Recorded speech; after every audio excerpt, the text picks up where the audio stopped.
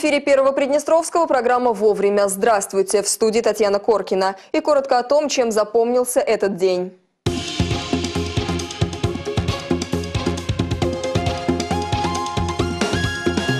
Учебники и компьютеры от России. Подарки получили все школы Приднестровья. Бюджет. Сегодня депутаты приняли во втором чтении главный финансовый документ страны. Чтобы сделать поездки безопаснее, в столице работают над ужесточением правил перевозки пассажиров. И кино на языке оригинала в «Рыбнице» и «Бендерах» покажет четыре фильма из классики немецкого кинематографа.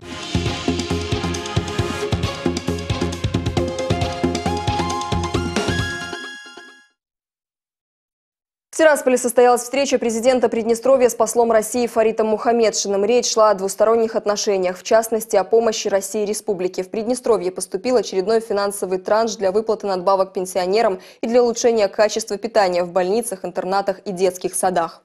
Евгений Шевчук отметил важность и значимость той помощи, которую оказывает Российская Федерация нашей республике. Также глава государства высоко оценил деятельность ОНО «Евразийская интеграция», которая занимается строительством множества социальных объектов в Приднестровье. Мы понимаем все мировые сложности экономического плана, которые есть, и несмотря на то, что эти сложности есть, Российская Федерация Э, в первую очередь защищает э, интересы граждан. Пользуясь случаем, хочу в вашем лице поблагодарить еще раз руководство Российской Федерации, всю Россию за то, что продолжает оказывать помощь в непростых условиях находящимся гражданам Российской Федерации и соотечественникам, проживающим в Приднестровье.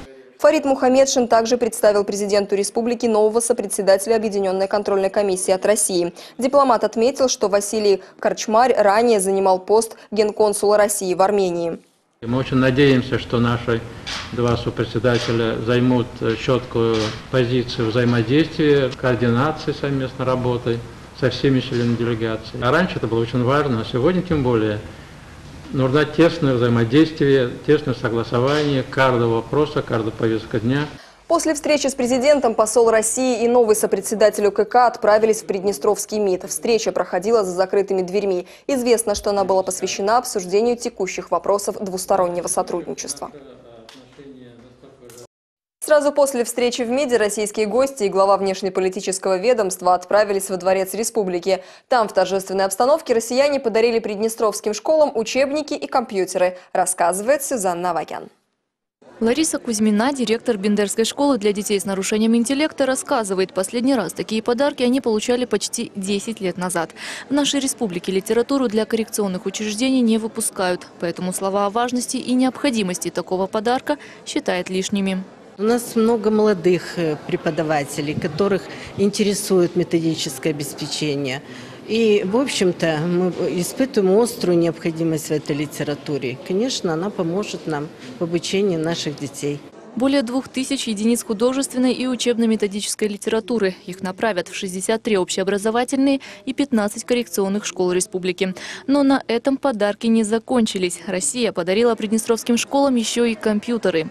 У нас всего 40 компьютеров. Мы исходили из того, что по 5 компьютеров на каждый район а далее по одному э, проектору и экрану на каждый район. И у нас еще пять факсов, это для самых таких, не самых богатых э, районов. У нас там Дубасар и Рыбница. Социальное, гуманитарное, политическое сотрудничество в этих сферах будет продолжаться, а отношения России и Приднестровья только укрепляться, уверил в своем выступлении посол России Фарид Мухаммедшин. Мы будем впредь придавать максимальное значение деятельности школ, в этом плане в следующем году у нас большие планы подготовки и переподготовки учительских кадров. И как на, на месте здесь приглашение наших специалистов, так и в Российской Федерации. Продолжении темы посол приводит цифры. Только в этом году 84 приднестровских абитуриента получили возможность по квоте учиться в вузах России. И там они показывают неплохие результаты. Немалую роль в этом играет и единое образовательное пространство. То, что э, продолжается наше э, сотрудничество в гуманитарной сфере, э, в той сфере, от которой зависит, насколько еще более богатыми будет наша республика в смысле интеллектуального потенциала. Вот, вот это очень большой вклад в наше с вами будущее. Литературу, компьютеры и оргтехнику в школы доставят уже завтра. По словам представителей учебных заведений, такой подарок непременно поможет в работе. Сюзанна Авакян, Николай Биркиншток, Первый Приднестровский телеканал. Президент внес на рассмотрение Верховного Совета инициативу о внесении дополнения в Конституцию Приднестровской Молдавской Республики. Предложенные изменения ведут к гармонизации законодательств Республики и Российской Федерации. Это послужит полному сближению Приднестровья и России, укреплению сложившихся исторических, культурных и экономических взаимосвязей в рамках единого русского мира. 17 сентября 2006 года народ Приднестровья выразил свою волю на референдуме о поддержании курса на независимость Приднестровской Молдавской Республики, последующее свободное присоединение Приднестровья к Российской Федерации. В течение последующих лет государство предпринимало системные шаги в направлении плановой гармонизации с Российской Федерацией. Но в целом это носило фрагментарный и отрывочный характер. Президентом предложено дополнить Конституцию Приднестровской Молдавской Республики статьей следующего содержания – Статья 58.1. Правовую систему Приднестровской Молдавской Республики образуют федеральное законодательство Российской Федерации, законодательство Приднестровской Молдавской Республики и общепризнанные принципы и нормы международного права, а также международные договоры. Особенности применения федерального законодательства Российской Федерации устанавливаются Конституционным законом. С учетом стремления приднестровского народа интегрироваться в российское пространство, президент считает необходимым введение в действие на территории Приднестровской Молдавской Республики федерального законодательства Российской Федерации. Это станет эффективным средством, отражающим потребности времени и экономики. Данная инициатива приобретает еще большую необходимость после состоявшегося Вильнюсского саммита. В Приднестровье принят во втором чтении бюджет на три года. Главный финансовый документ разработан правительством по укрупненным показателям. Это мировая практика. Подобный опыт существует в России и Армении. Впервые в нашей республике сокращается дефицит госказны. Без дефицитного бюджета добиться не удалось. Несмотря на это, подчеркнула министр финансов, ближайшие три года доходы госказны будут расти более высокими темпами, чем расходы. Уменьшился в целом дефицит республиканского бюджета по сравнению с теми параметрами, которые были ранее. Если ранее дефицит был свыше полутора миллиарда рублей, то согласно той редакции, которую мы предложили и которая утверждена, он сейчас не достигает э, миллиарда четырехсот. Накануне и в ходе рассмотрения бюджета депутаты предложили целый ряд поправок, значительно увеличивающих дефицит госказны. Например, предлагалось на 3 миллиона рублей увеличить сметы на содержание Верховного Совета. Сошлись на более скромной цифре – плюс 500 тысяч. Ну, естественно, были консультации с самим правительством неоднократно, и даже мои коллеги консультировались с президентом по данному вопросу. Что сделали депутаты для того, чтобы доходов стало больше? В том виде, в котором был представлен бюджет э, Верховному Совету, не предусматривает никакой возможности, никаких рычагов для того, чтобы что-то кардинально изменить. Во время обсуждения бюджета депутаты решили сократить финансирование государственных СМИ. Кроме того, решено, что в бюджете Тирасполя будет прописана отдельная статья расходов Днестровска. Это позволит направить больше средств на нужды этого небольшого городка. В третьем чтении бюджет будет рассмотрен через несколько недель. Степан Бугаев, Первый Приднестровский телеканал.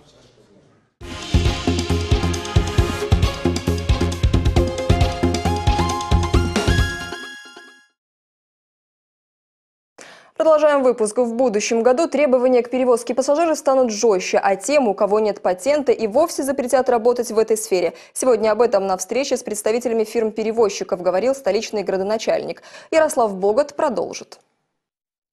С 30 до 306 число патентов, выдаваемых на оказание услуг по перевозке пассажиров в Тирасполе, увеличилось в 10 раз. Водители рассказывают, причина такого роста простая. Стоимость выдачи патента снизилась. Так как э, госадминистрация снизила нам стоимость патента, оно стало доступно вот, и выгодно по патенту работать э, спокойнее, чем по разрешению. Идет э, сразу отложение налогов и к пенсионному фонду идет. Как бы получается, что мы уже защищены вот, о будущем, о нашем возрасте, о пенсии. Люди, когда патент стал подъемный, стали массово выходить из тени. Положительная тенденция очень. Э, э, плюс к этому э, нас услышала госадминистрация города Бендер. И я знаю, что готовится заседание горсовета по этому поводу, по поводу тоже перенять тираспольский опыт и снизить стоимость патентов. Будем надеяться, что из Слободзея нас услышат. Те, кто из тени выходить не захочет, заниматься перевозками запретят вовсе. Об этом заявил сегодня глава Тирасполя на встрече с перевозчиками. С 1 января 2014 года к предпринимателям в сфере перевозок требования ужесточатся. В первый месяц, да, по-моему, сентябре, я так на скидку скажу, вы заплатили налогов столько, сколько за весь прошлый год. Мы два месяца дали вам еще фонд.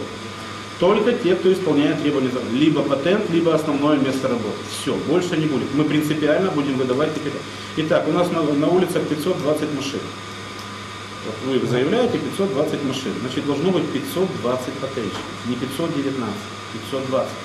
Обсудили на встрече и новогодние праздники. Перевозчикам предложили украсить свои автомобили. Учредили даже премии. Их распределять между лучшими новогодними такси или маршрутками. Праздничные украшения на транспорте горожане смогут увидеть после 21 декабря. Ярослав Богат, Первый Приднестровский телеканал. Безопасный город. Автоматизированная система камер видеонаблюдения в столице работает восьмой год, а вот в Бендерах появилась недавно. Но уже есть результаты. За пять месяцев с ее помощью было выявлено порядка тысячи нарушений правил дорожного движения. Вот одно из зафиксированных камерами видеонаблюдения. На этих кадрах молодая семья пересекает проезжую часть по пешеходному переходу. В этот момент на скорости людей объезжает автомобиль. Причем движется он по встречной полосе. По статистике, около 65% ДТП связаны с наездами на пешеходов. Больше половины происходят по вине водителей. Именно поэтому в Тирасполе и Бендерах на аварийно-опасных перекрестках установили камеры видеонаблюдения. С их помощью удается не только выявить нарушителей, но и доказать их вину. Так, в столице за время работы системы «Безопасный город» удалось зафиксировать более пяти тысяч нарушений. В Слободе милиционеры раскрыли жестокое убийство 84-летней женщины. Поиски преступника длились несколько месяцев. Как выяснилось, женщину лишила жизни ее собственная дочь. Она не нашла общего языка с престарелой матерью и ударила ее палкой по голове. Женщина погибла на месте. Сейчас злоумышленница задержана и дает признательные показания. И я вышла на улицу, она все равно начала кричать, я разволновалась, запсиховала, искала палку, пошла в курятники. И нашла там палку, шла, она все равно кричит, кричит на меня, обзывает. Ну и я хотела на нее, не хотела сильно, чтобы попасть в голову. И попала прямо в голову, разбила голову ей. Чтобы замести следы преступления, задержанная сожгла тело матери на приусадебном участке, а спустя несколько дней сама обратилась в милицию и сообщила, что ее мать пропала без вести. В ходе оперативно-розыскных мероприятий сотрудниками отделения уголовного розыска был осмотрен приусадебный участок, а также домовладение, в котором проживала без вести пропавшая. В огороде в зале от костра были обнаружены фрагменты одежды, а также фаланги пальцев рук. Возбуждено уголовное дело по статье «Убийство». Сейчас подозреваемая находится под арестом.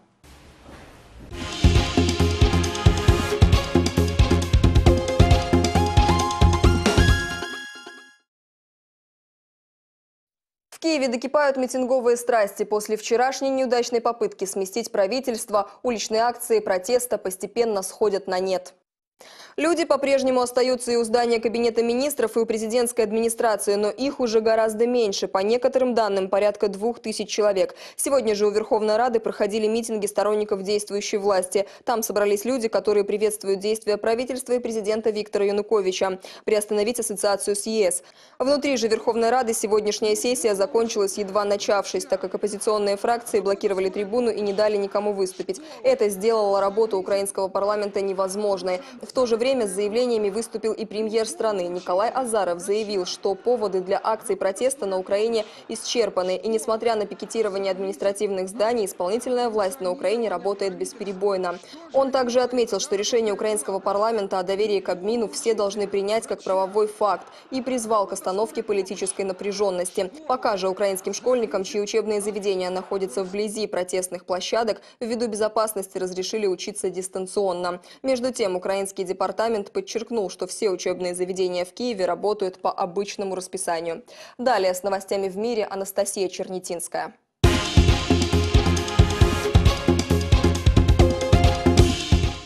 Сегодня в Москву для переговоров прибыла украинская делегация во главе с первым вице-премьером Украины Юрием Бойко. Основная цель визита – нормализация торгово-экономических отношений с Российской Федерацией, а также решение вопроса с поставками газа. Сегодня уже состоялась встреча украинского премьера с его российским коллегой Дмитрием Медведевым. Было заявлено, что Украина остается важным стратегическим партнером России. В то же время еще одна группа дипломатов сегодня отбудет в Брюссель для проведения переговоров о подготовке к подписанию соглашения об ассоциации между Украиной и Европейским Союзом. Президент Украины Виктор Янукович начал государственный визит в Китайскую республику. Во время поездки планируется подписать ряд двухсторонних договоренностей об экономическом сотрудничестве. В частности, Украина планирует активизировать взаимодействие в судостроении, освоении космоса, развитии IT-технологий, а также авиастроении. Предполагается даже создать предприятие по производству украинско-китайских самолетов.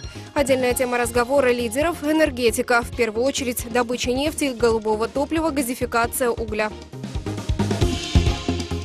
Госсекретарь США Джон Керри прибыл в Молдову с официальным визитом с руководством республики. Он обсудит двусторонние отношения между Молдовой и Соединенными Штатами, а также с процессом евроинтеграции страны. Также запланировано, что американская делегация во главе с Джоном Керри встретится и с молдавскими бизнесменами для обсуждения внутри и внешнеэкономической ситуации в Молдове.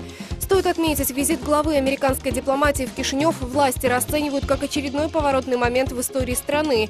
Сегодня госсекретаря привезли в винные подвалы Крикова, где он выступил с речью «Я здесь, чтобы поздравить народ Молдовы с парафированием соглашения об ассоциации с Евросоюзом», сказал он.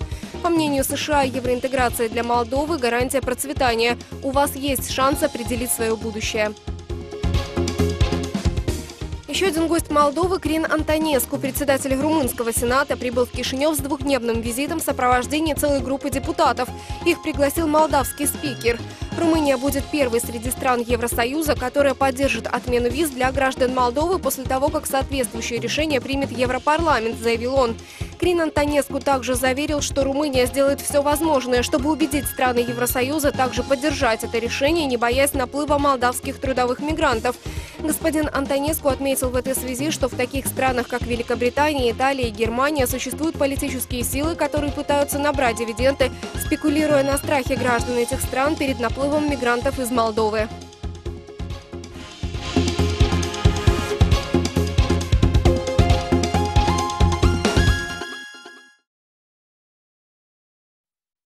К новостям в Приднестровье госадминистрация Тирасполя совместно с коммерческими организациями города оказали благотворительную помощь семьям, воспитывающим детей-инвалидов. Более 100 продовольственных наборов получат особо нуждающиеся семьи. Госадминистрация, как правило, обращается к спонсорам, поскольку средства специально не выделяются именно на такую помощь. И сегодня, благодаря помощи фирмы Опторгсервис и фирмы СИД, мы имеем возможность э, общественной организации, объединяющей семьи с детьми-инвалидами, оказать помощь э, продуктовыми наборами. А помощь она нужна. Вы знаете, когда хотя бы раз в год оказывают ее, а если еще это оказывает государство, то это мы чувствуем себя, потому что я сама мама больного ребенка, мы чувствуем себя, что нас не забыли. Сегодня в Тирасполе насчитывается более 300 семей, воспитывающих детей-инвалидов. Оказывать им помощь государственная администрация намерена и в дальнейшем. К другим новостям. Оригинальные тексты, подлинные эмоции актеров. На экранах кинотеатров «Рыбница» и «Бендер» кино из Германии. С 3 по 12 декабря зрители увидят четыре известных фильма разных лет. Первыми наслаждались шедеврами немецкого кинематографа «Рыбничане». Привез знаменитые картины в нашу республику посол ФРГ в Молдове Матиас Мейер. По его словам, это поможет наладить культурные связи между немцами и приднестровцами.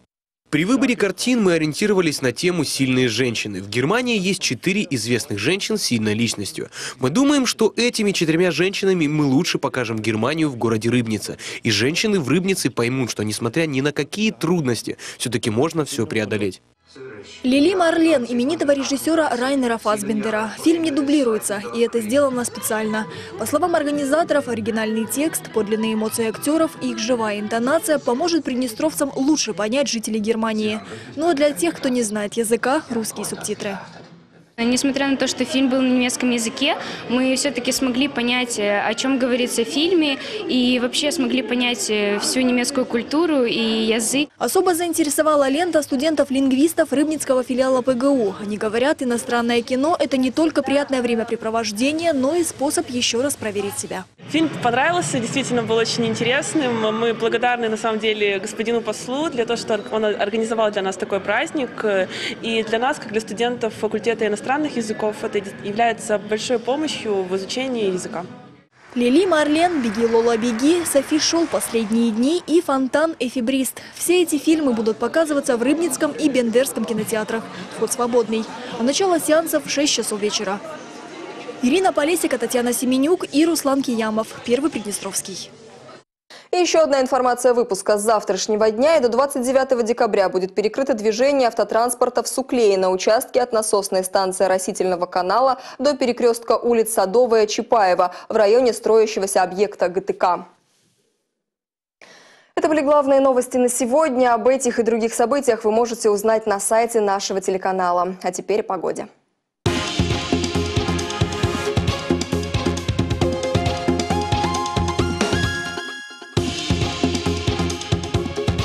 5 декабря в Москве пасмурно, небольшой дождь. Ночью плюс 2, днем плюс 3. В Киеве облачно, ночью минус 1, днем плюс 3. В Кишиневе мало облачно, ночью минус 4, днем плюс 5.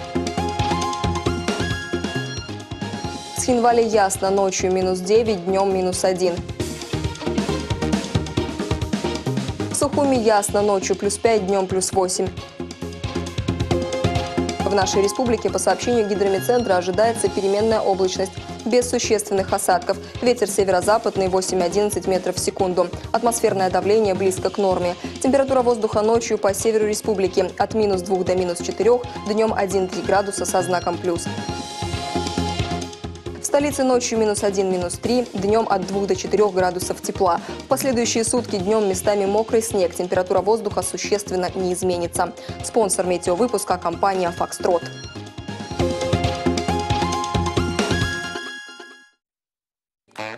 Торговый центр «Фокстрот» сдает в аренду торговые площади самых разных размеров. Двухэтажный торговый центр находится в самом центре столицы и включает в себя различные удобства как для продавцов, так и для покупателей. На этом у нас все. Я прощаюсь с вами и увидимся, как всегда, вовремя на Первом Приднестровском.